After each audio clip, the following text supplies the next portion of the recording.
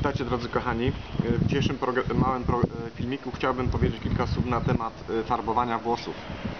Otóż farbowanie włosów jest szkodliwe dla zdrowia. Dlaczego? Ponieważ te substancje chemiczne, które są w tym produkcie do farbowania wchodzą przez włosy do naszej skóry, wchodzą do naszej głowy i po prostu zmieniają hormony, szczególnie u kobiet.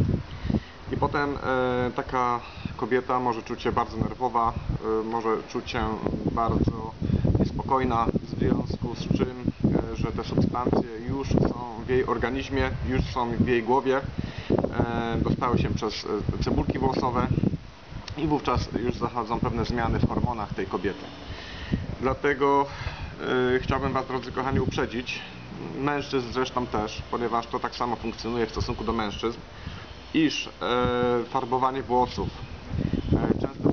włosów, no nie, e, nie jest to dobre dla naszego organizmu, nie jest to dobre dla naszych, dla naszych hormonów, no niestety.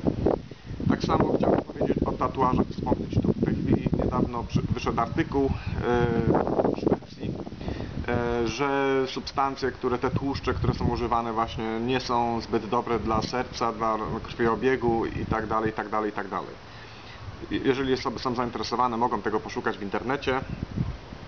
E, Dlatego jeszcze raz Was e, przestrzegam przed tym, że farbowanie włosów, robienie częstych tatuaży na Waszym ciele, no to nie pomaga Wam, drodzy kochani, w dojściu do zdrowia. A przeciwnie, będzie utrudniać krwiobieg, będzie utrudniać e, Wasze codzienne życie. To po prostu jest taka wzmianka, żebyście uważali na te wszystkie lakiery do włosów, na te wszystkie substancje zmieniające kolor do włosów, ponieważ one są niestety chemiczne i nie są naturalne i mogą spowodować, e, wyrządzić dużą krzywdę danej osobie. Tak, żebyście na to uważali. Także jeszcze raz serdecznie Was pozdrawiam. Tutaj z Teneryfy i do widzenia.